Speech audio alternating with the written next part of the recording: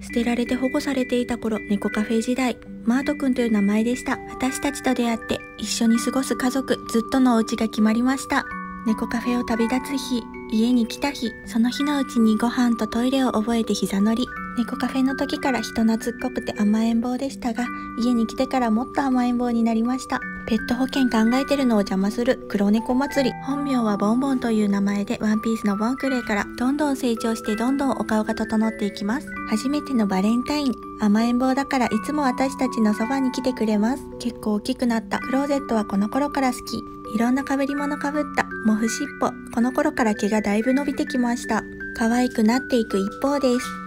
後ろ姿に貫禄出てきた黒目がどんどんまん丸になっていきます。メイちゃんに潰されそうになった。1歳直前には今のボンヌって感じに成長してました。